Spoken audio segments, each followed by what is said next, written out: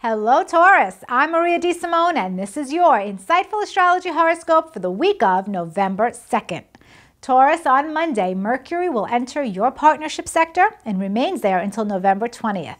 During the next few weeks, you and your partner will enjoy amazing communication. The kind of communication where you feel like you're not only hearing each other, but really listening as well. It'll make all the difference, especially if you're trying to collaborate on fleshing out an important idea or if you have a vital decision to make together.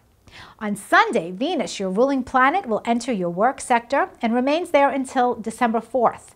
You will enjoy a phase of amazing harmony at the office. Collaboration with your colleagues will be easier than ever, and you'll feel so appreciated by the team you work with. When it comes to you showing your gifts and your talents at the office, everyone will feel like you're just indispensable, and you are.